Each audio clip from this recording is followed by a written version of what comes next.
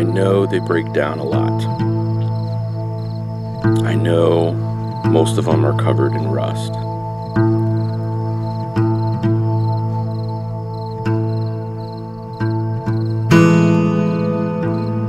I know the engines take a lot of maintenance. But there's so much about them that I don't know.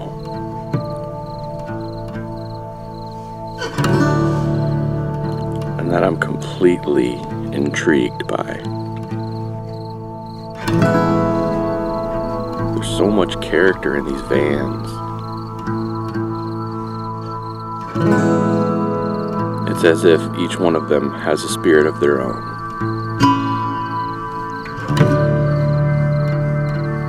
I know they're just machines, just a tool. But what a great tool, man.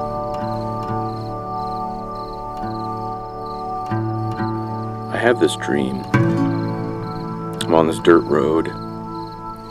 The sun is setting. The dust is kind of flying in the air.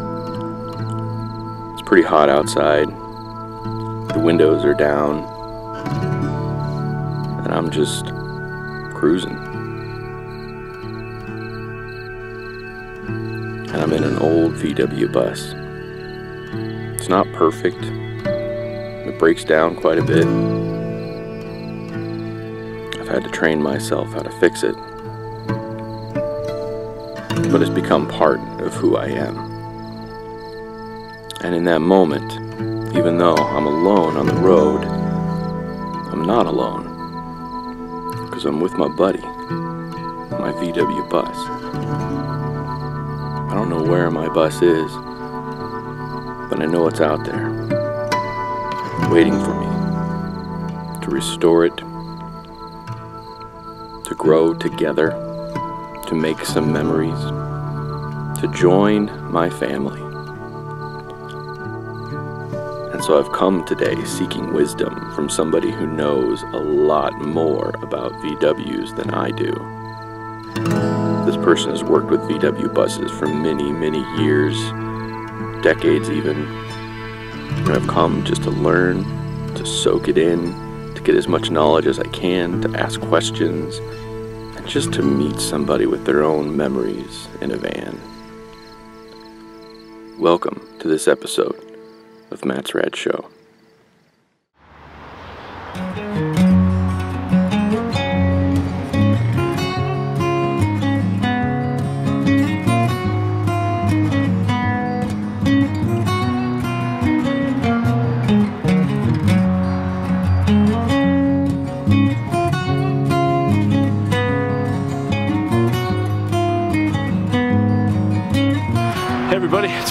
Matt's Rad Show here. Many of you guys know that I, for a while now, I've been kind of dreaming about a VW bus. I decided to take my dreams, put them into action, and to call up somebody that knows more about VW buses than I do. I found this guy here, his name is Jerry. He owns JAC Auto and he's got a lot of VW buses. He also has a nephew named Jay who knows a lot about VW buses, who owns a lot of VW buses too, so I've come to the right place to learn everything I can about VW buses today. So I'm just gonna talk to these guys, show you some of the buses that they've got on the lot here.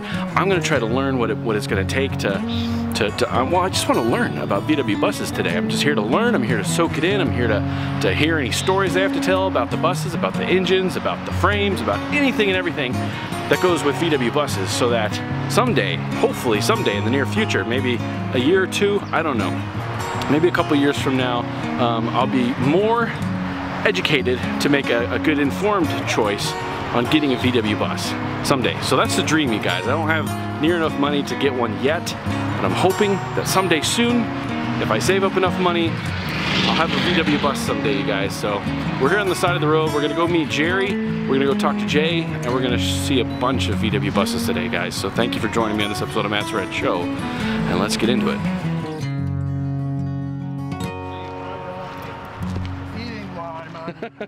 This is Jerry. He owns this place. He's been working here for a long time and has many stories about Volkswagens. My definition of a Volkswagen bus is an under horsepower bread box. My father had a 57 Volkswagen panel van, no windows on the side, 36 horsepower. Uh, I learned how to drive in it, and that's probably where my first love came of driving Volkswagens. You know, he says 36 horse, only takes a mile to get going. I've, I've had a bus, VW bus, since high school. Um, not the same one.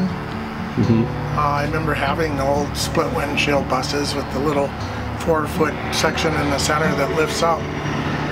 Makes it easier to put your pants on in the morning, but uh, yeah, they, they, the, the pop tops are nice. If you have kids, it's a good place to put the kids up top. So, but uh, yeah, I've had a, one or two buses all the way through as far as they tend to grow on you. You like them, you keep them, you restore them.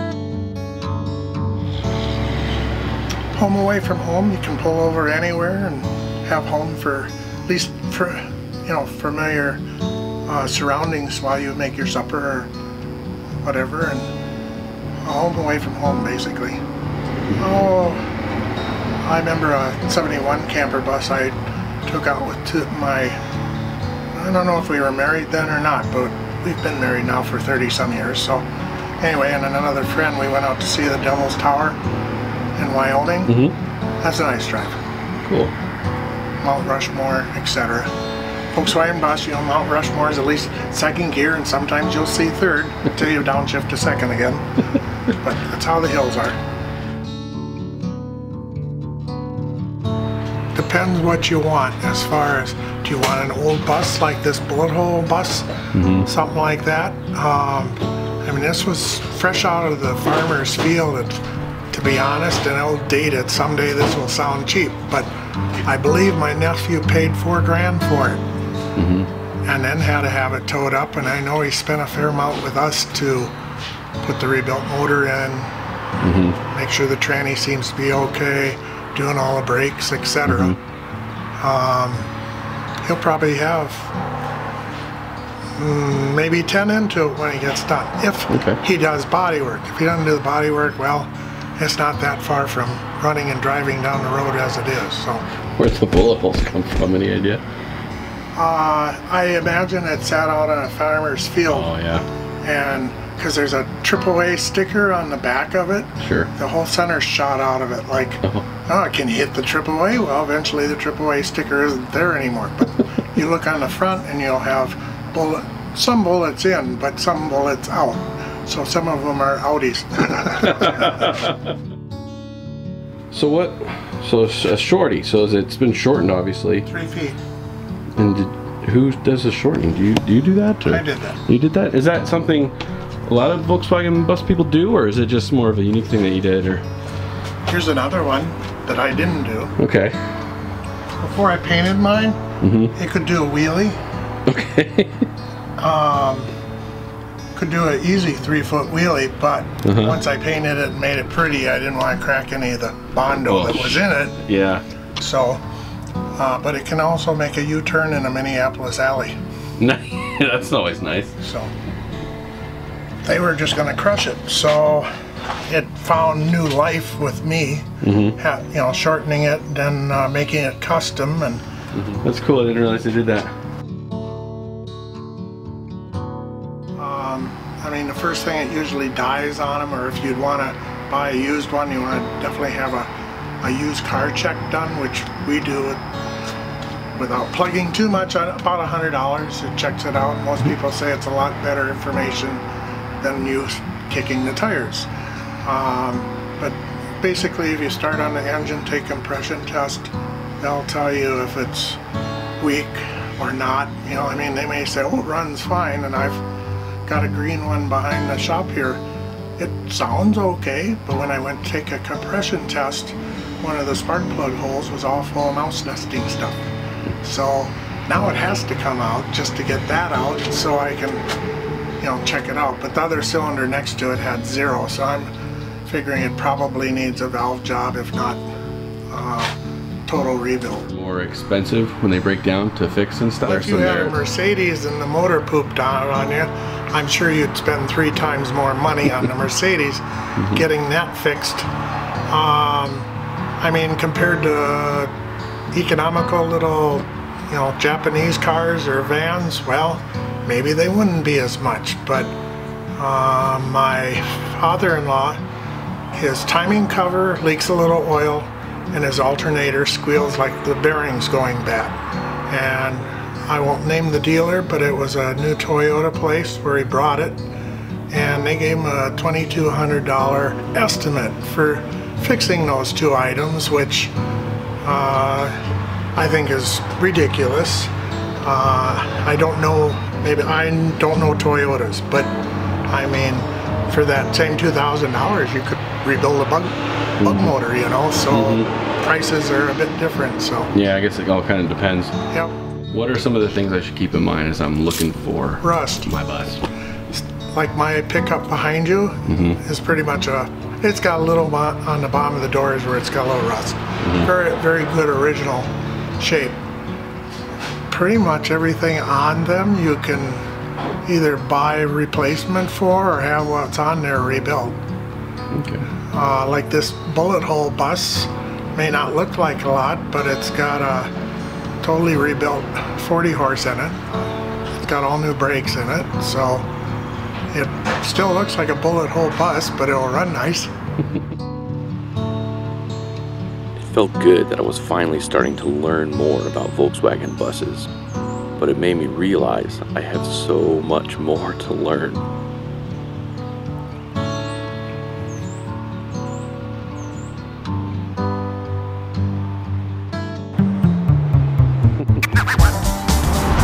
Is. Two green ones. How's it going? Um,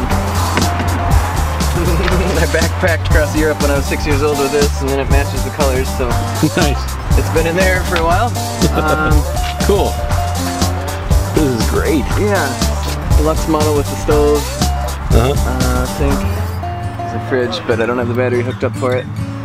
Cool.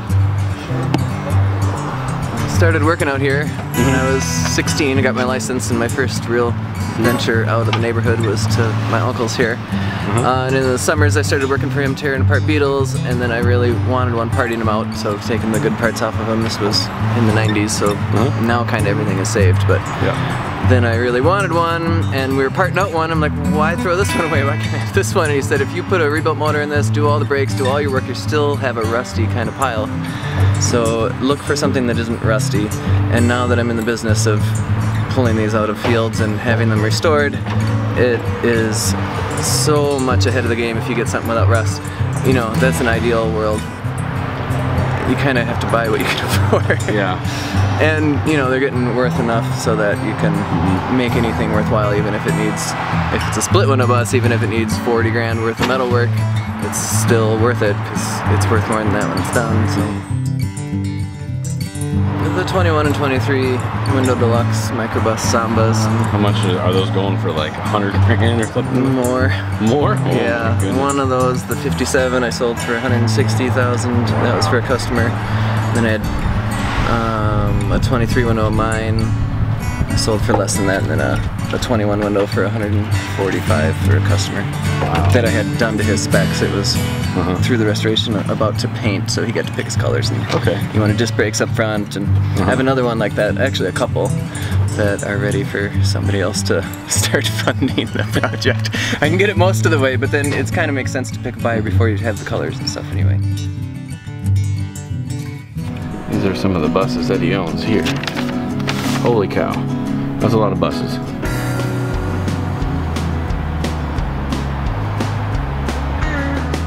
Tell me a little bit about this bus then a little bit? This is a guy in Florida that was moving to Puerto Rico and called me up and said he had a bus he'd been working on restoring for his daughter, but they she already was in Puerto Rico and he was moving there too. So mm-hmm. he had to sell it. So he said it has new paint, rebuilt motor, had it shipped up here in November. So the temperature change from Florida to Minnesota in November was such that some of the filler that was used in this had shrunk and cracked, and so by the time it got to the shop that said that they would fix it for me, finish it rather, uh, it needed more body work. So man, but restoring these things, even just this little trim that goes around the window, for both sides, it was.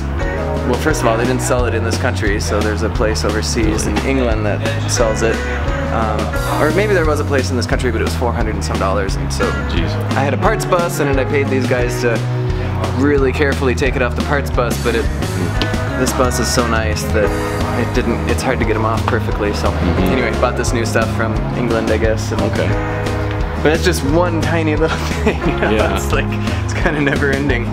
But it's coming along. It's gonna be a great bus. It's a weekender, which means that it has all the camping interior without the pop top, tin Oh, cool. top camper. They also call them.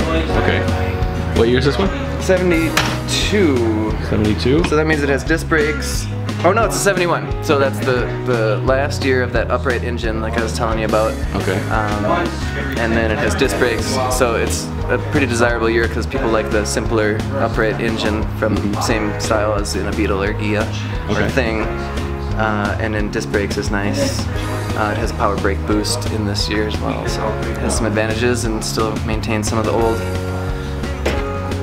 characteristics. Cool. Now, can you talk a little bit about the motors and how they're different from a normal vehicle? I mean, cool. Let it cool off. What kind of engines do you got in here? two liter. In 72, they went to this different flat style. All the way prior, they had had this upright engine. Mm-hmm. Um, and then they went from a 1.7 liter, 1.8 liter, and this is a 2 liter. So it has the most oomph. Cool. Still not super speedy. How fast can it go? I was going 75 on the way here trying to get here on time. how long did it take to get up to 75? Uh, about 12 minutes. so this is a lot higher than that other engine that was in that green bus out there. Mm-hmm. Uh, Why, thank you.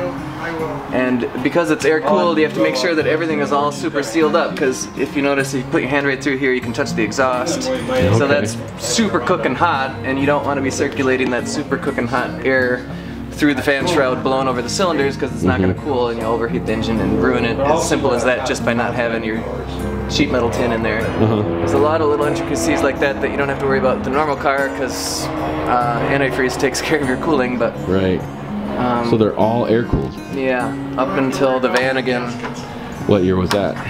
Vanagon started in 80, and then look to the comments on this video to see if I'm wrong, but is it 82 that turns into a water boxer? I think it's a three. Okay, 83-ish.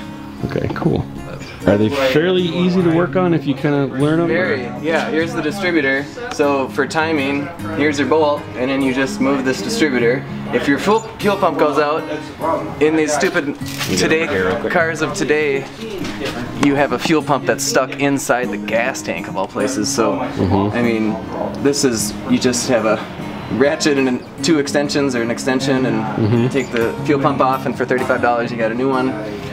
Um, it takes a whopping two and a half quarts of oil, so hardly any. Uh, so you have to be really careful about not running low on oil, because even if you're a quart low, you're about half capacity. Oh wow, But that's cool. yeah, How many horsepower are, is typical? uh, I think these are around 60. They started off.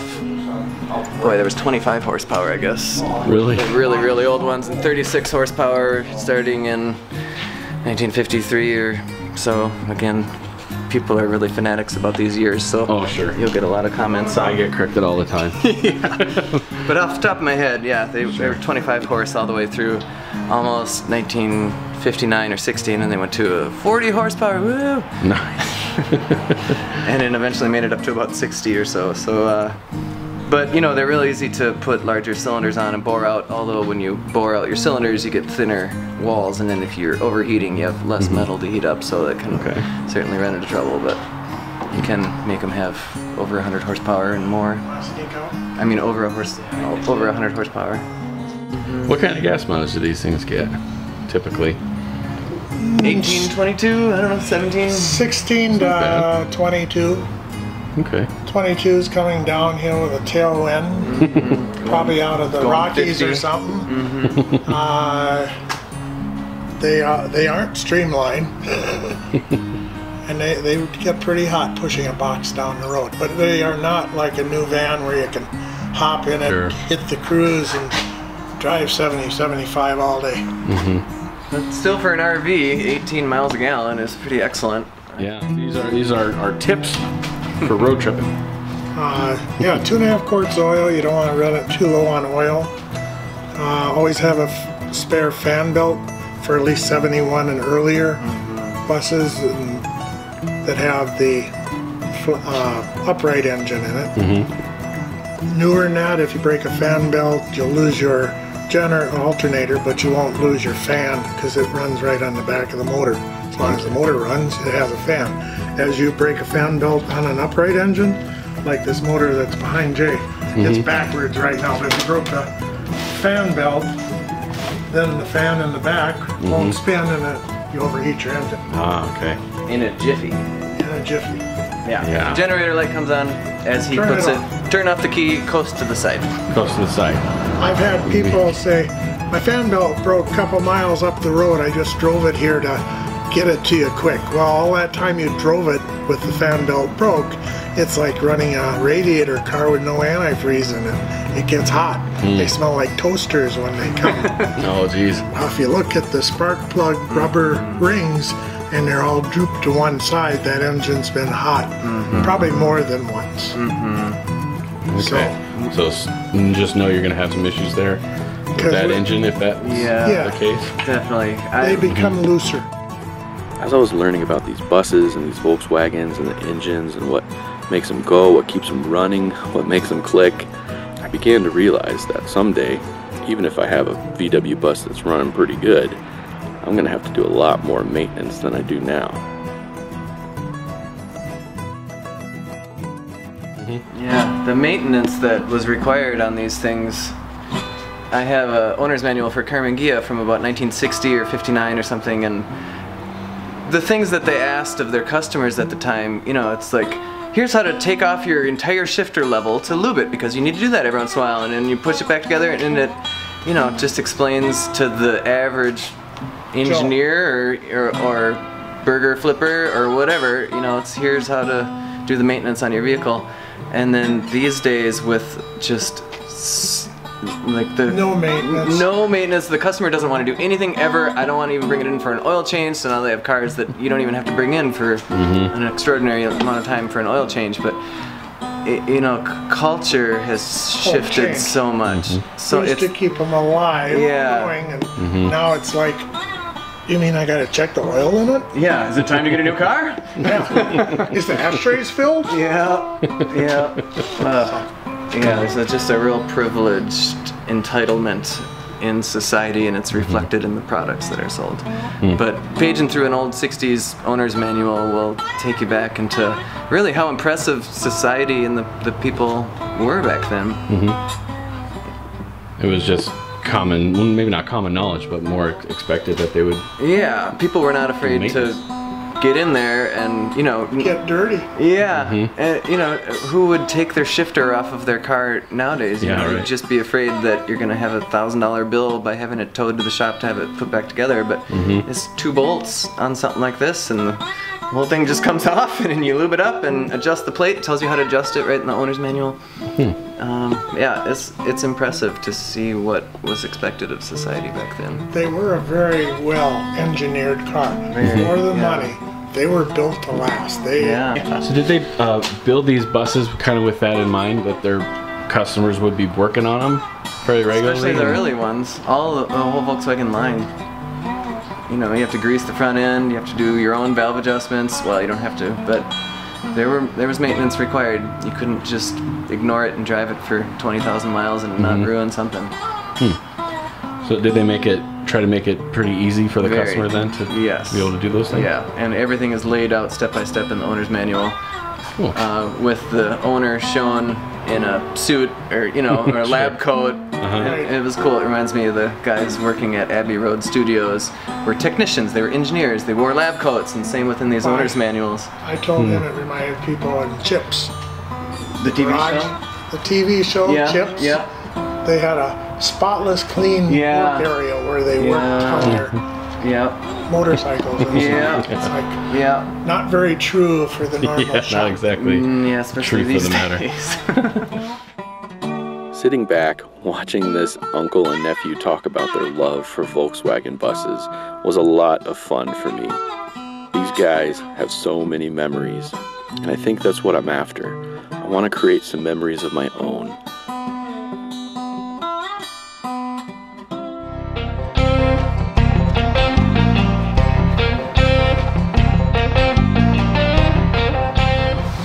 What's the story behind the, the short buses here? When did they start?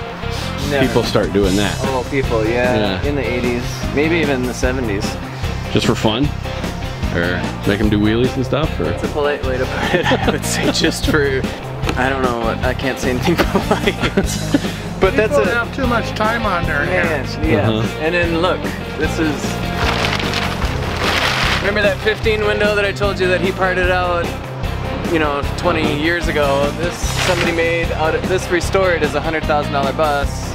oh wow, Um, you know, so I mean, and then the forklift picked it up and smashed it here, and I mean, it's been, jeez. you know, it's a, quite a project. But you know, if you put 80 grand into it, you still can have something in the end. But yeah, not only did they ruin a bus, but they ruined a very rare model to walk through, meaning it has two bucket seats up front rather than a bench, which is also a rare Oh. option.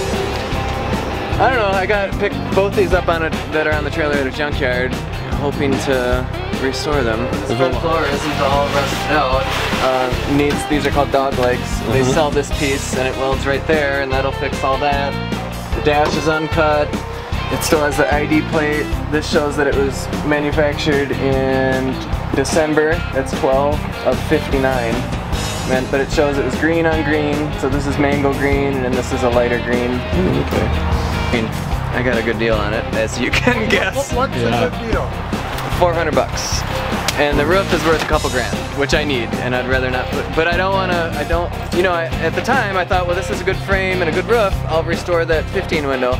But these mango buses are so beautiful. Also, they have a caramel interior. They're like the only non-deluxe that has all the deluxe options, like a white steering wheel and uh, chrome trim on the door panels and stuff. Mhm. So I just can't bring myself to cut this one up, even though it looks like this, to restore that.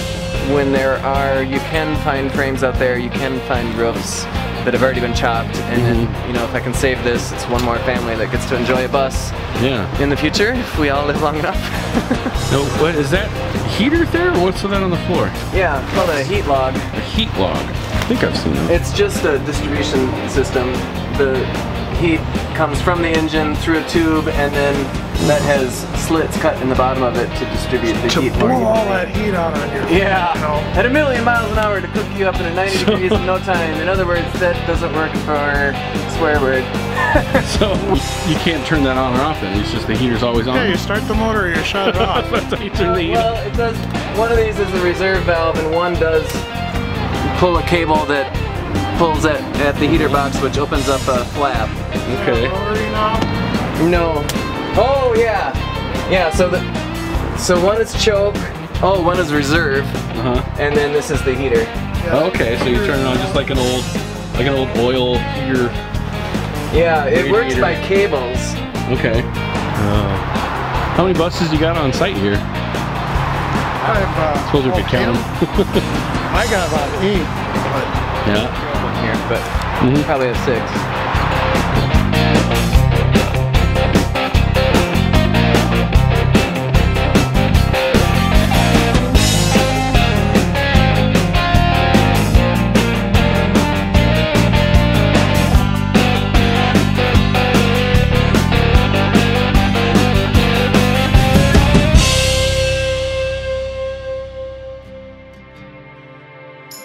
Sure what to expect when I showed up today, but after hanging out with Jerry and Jay, I can finally start to visualize what it's going to take to one day bring one of these buses into my family.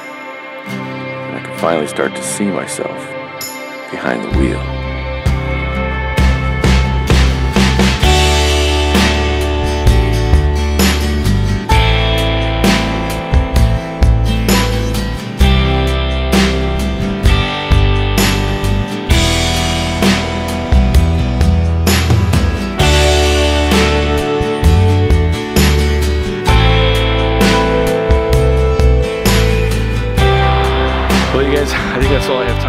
Today. But you can be sure that I'll be back to record some more VW buses, to learn more about VW buses. So someday, hopefully, in the next two years here or so, we'll have a VW bus of our own for Matt's Rad Show. And we'll take road trips, we'll do all kinds of cool stuff with it. So thanks for joining me on this episode, guys. The dream has just begun.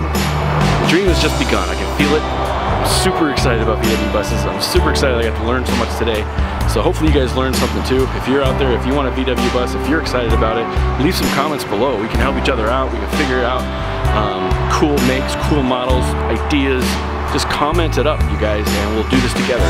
We'll get a VW bus together, you guys. So, and who knows? Maybe I saw the one I'm going to purchase on the lot here someday. Maybe it's one of these. Who knows? I don't know.